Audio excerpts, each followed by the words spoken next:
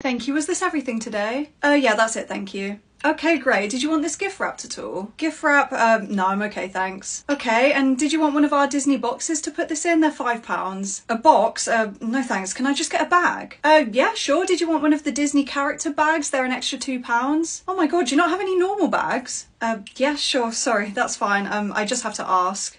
right. Uh, so the normal bags are 20p, is that okay? Oh, well, I guess it will have to be okay, won't it? Uh, the card machine's ready for you.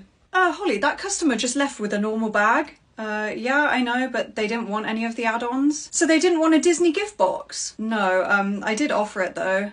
I don't understand. Who wouldn't want a Disney gift box?